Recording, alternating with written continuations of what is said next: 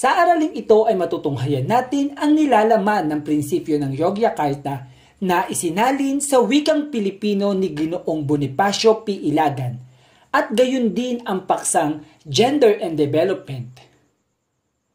Ang mga paksang ito ay nakabatay pa rin sa most essential learning competency ng Department of Education. Ito ay ang nakagagawa ng hakbang na nagsusulong ng pagtanggap at paggalang sa kasarian na nagtataguyod ng pagkakapantay-pantay ng tao bilang kasapi ng pamayanan. At ang mga layunin nga nito ay Una, nasusuri ang mga prinsipyo ng Yogyakarta. Ikalawa, na ipaliliwanag ang gender and development. At ang ikatlo, nakapaglalahad ng mga pamamaraan na nagtataguyod ng pagtanggap, paggalang at pagkakapantay-pantay ng iba't ibang kasarian sa lipunan. Kaya naman naway ang nilalaman ng araling ito ay makahubog ng mga aktibo at mga responsableng mag-aaral na magsusulong ng isang lipunang may pagtanggap at paggalang sa kasarian tungo sa pagkakapantay-pantay. Mga prinsipyo ng Yogyakarta Isang pangkat ng mga eksperto sa mga karapatang pantao ang nagtipon-tipon at nagpulong sa Gadjah Mada University sa Yogyakarta, Indonesia noong November 6 to 9, 2006. Bumalangkas sila ng mga prinsipyo na tinatawag na mga prinsipyo ng Yogyakarta ukol sa aplikasyon ng pandaigdigang batas ng mga karapatang pantao kaugnay ng oryentasyong sexual at pagkakakilanlang pangkasarian. Ang mga prinsipyo ng Yogyakarta ay nagpapatibay sa umiiral ng mga legal na pamantayang pandaigdig na nararapat sundin ng mga estado. Ibig sabihin lamang nito ang pagkakabuo ng mga prinsipyo ng Yogyakarta o ng balangkasin ng mga eksperto ang mga prinsipyong ito ay may pinagbasihan sila o inayon nila ito sa isang legal na pamantayang pandaigdig. Ano ito? Iyong tinatawag na pandaigdigang batas ng mga karapatang pantao o sa English ay Universal Declaration of Human Rights o UDHR. Ang Universal Declaration of Human Rights o UDHR ay tatalakayin natin ito sa ikaapat na markahan. Ang mga sumusunod ay mga prinsipyo ng Yogyakarta. Una, ang karapatan sa universal na pagtatamasa ng mga karapatang pantao. Lahat ng mga tao ay sinilang ng malaya at pantay sa dignidad at mga karapatan. Bawat isa, anuman ang orientasyong sexual at pagkakakilan ng pangkasarian, ay nararapat na ganap na magtamasa ng lahat ng karapatang pantao. Dito sinasabing universal. Ibig sabihin, lahat ng karapatang pantao ay dapat naganap na makamit o matamasa ng lahat ng tao anuman ang kanyang orientasyong sexual o kaya naman pagkakakilanlang pangkasarian.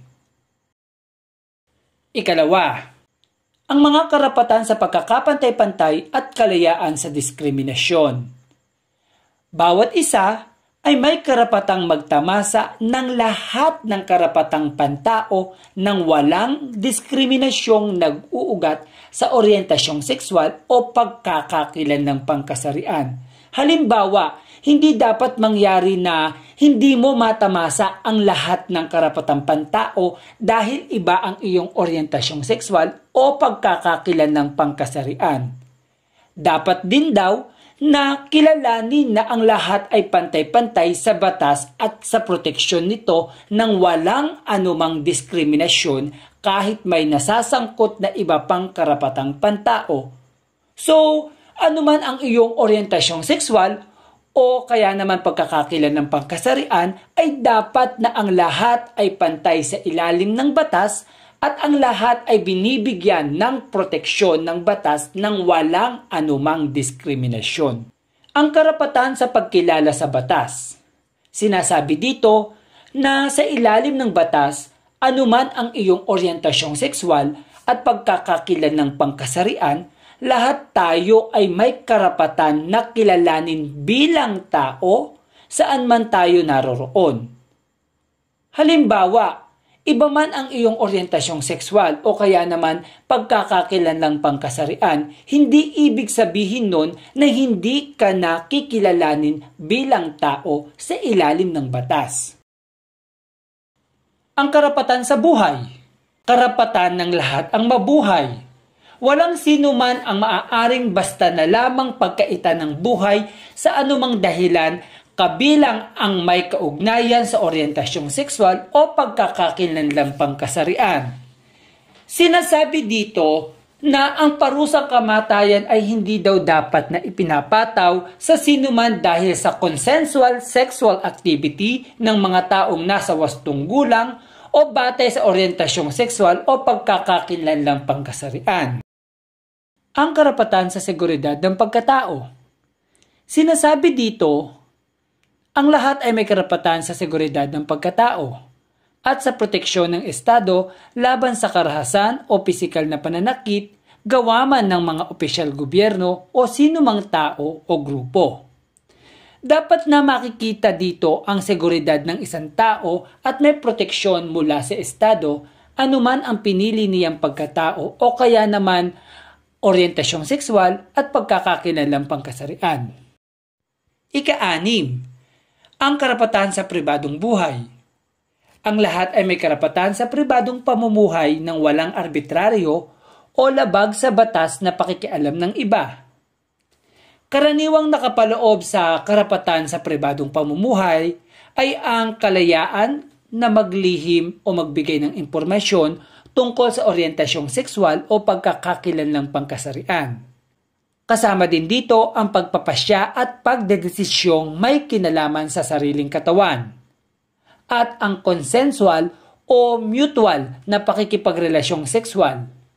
At iba pa. Ang karapatan na hindi arbitraryong mapiit. Walang sino man ang aarestuhin o ikukulong ng arbitraryo o basta-basta na lamang may karapatan ng sinuman na pagpaliwanagan kung bakit sila inaaresto. Ang pag-aaresto at pagkukulong dahil sa orientasyong sexual o pagkakakilanlang pangkasarian kahit na inutos pa ng korte ay arbitraryo. Ikawalo, ang karapatan sa patas na paglilitis.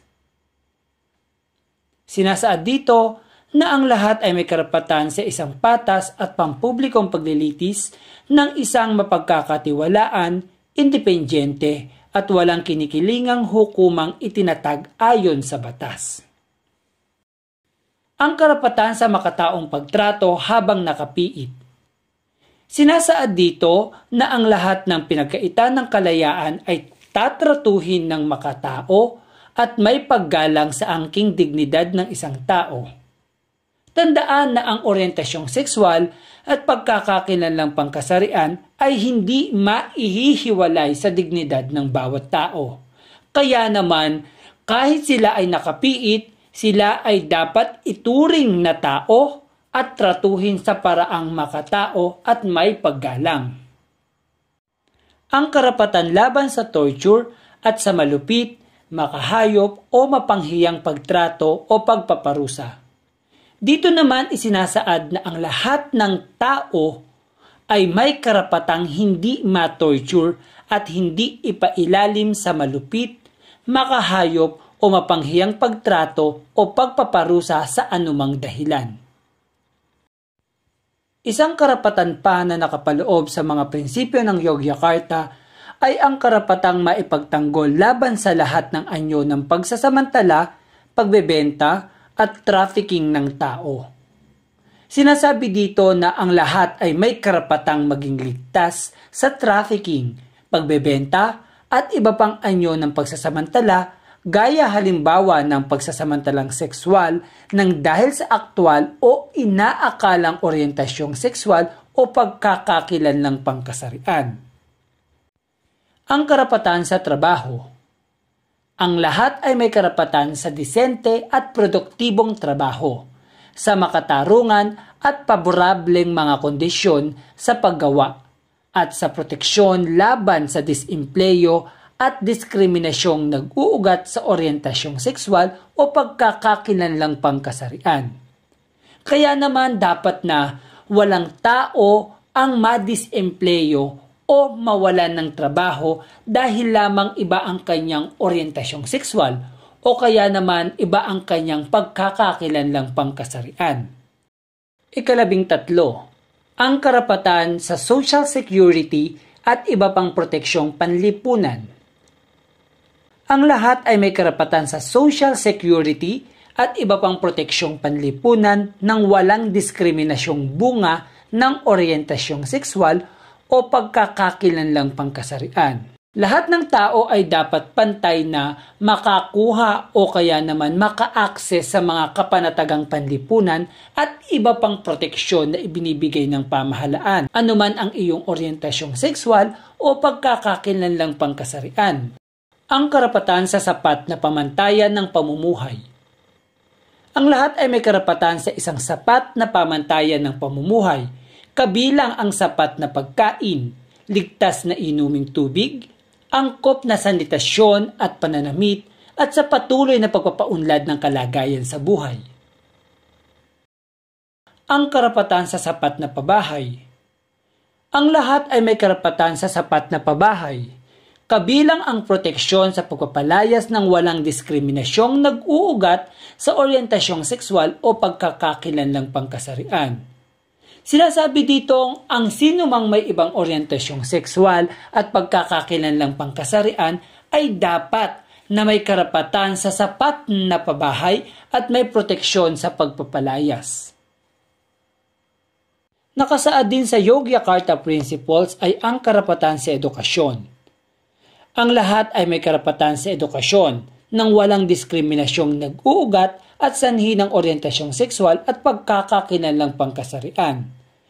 Ang mga estado ay dapat tumiyak na ang edukasyon ay nakatuon sa pagpapaunlad ng personalidad, talino ng bawat estudyante at ng kanilang abilidad na mental at pisikal sa kasukdulan ng kanilang potensyal at tumutugon sa mga pangangailangan ng mga estudyante anuman ang kanilang orientasyong sexual at pagkakakilanlang pangkasarian. Ang karapatan sa pinakamataas na pamantayan ng kalusugang makakamit. Naniniwala tayo na ang kalusugan ay isang kayamanan. Kaya naman, anuman ang iyong orientasyong sexual o pagkakakilanlang pangkasarian ay dapat na magkaroon ng karapatan sa pinakamataas na pamantayan ng kalusugang pisikal at mental nang walang anumang diskriminasyon na natatanggap. Proteksyon laban sa mga abusong medikal. Ayon dito, walang sino man ang mapipilit na sumailalim sa anumang medikal o psikolohikal na panggagamot, proseso at pagsusuri o kaya'y bibinbinin sa isang pasilidad na medikal ng dahil sa orientasyong sexual o pagkakakilanlang pangkasarian. At ang orientasyong sexual at pagkakakilanlang pangkasarian ng isang tao ay hindi sakit at hindi maituturing na sakit na dapat gamutin, pagalingin at pigilin. Ikalabing siyam, ang karapatan sa malayang paglalahad ng opinyon at pamamahayag.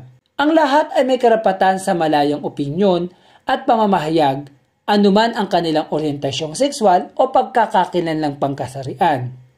Kabilang dito sa malayang opinyon at pamamahayag na ito ay ang pagpapahayag ng anyo o pagkatao sa pamamagitan ng pananalita, pagdadala ng sarili, pananamit, katangian ng katawan, pagpili ng pangalan o iba pa. Ikadalawampu, ang karapatan sa malayang asembleya at pagsapi sa mga samahan.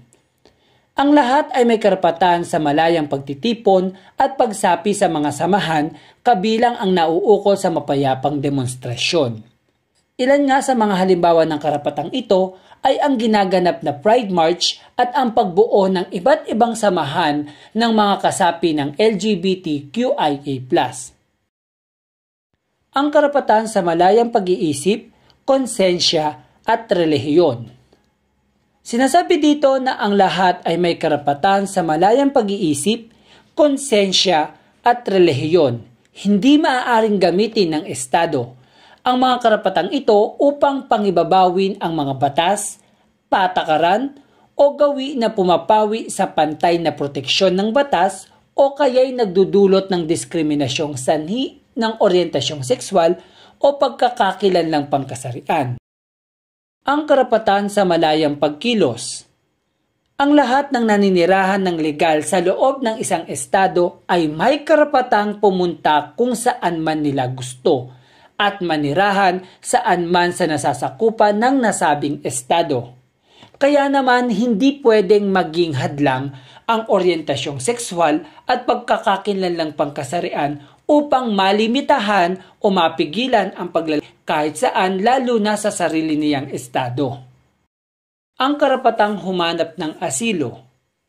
Ang lahat ay may karapatang humanap at magtamasa ng asilo o sangtuaryo sa ibang bansa upang makaligtas sa pang-uusig.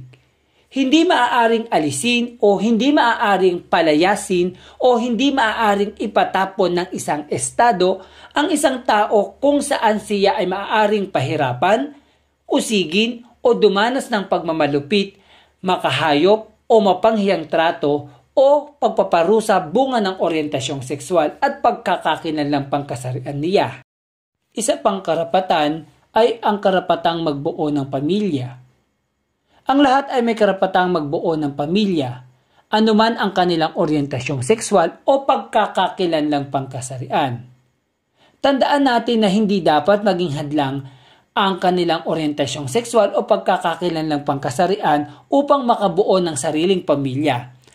At ang pamilya ay may iba't ibang anyo. Kaya naman dapat na ang pamilya at ang bawat miyembro nito ay hindi dumadanas ng diskriminasyon.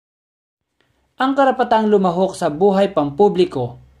Ayon dito, bawat mamamayan ay may karapatang sumali sa mga usaping publiko, kabilang ang karapatang mahalal, lumahok sa pagbuo ng mga karapatang may kinalaman sa kaniyang kapakanan at upang mabigyan ng pantay na serbisyo publiko at trabaho sa mga pampublikong ahensya.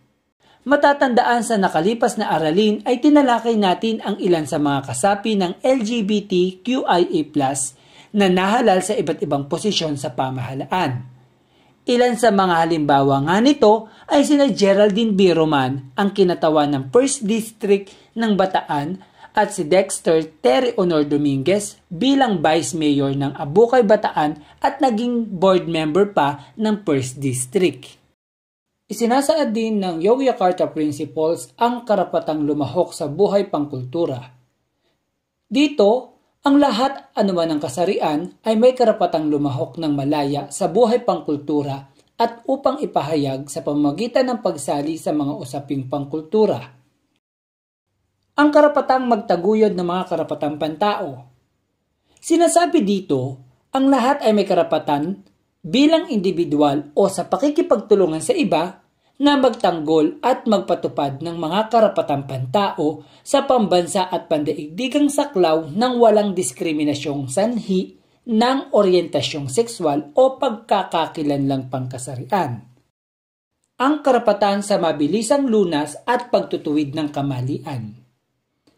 Sinasabi dito na ang bawat biktima ng paglabag sa mga karapatang pantao ay may karapatan sa mabisa, sapat at karampatang mga remedyo.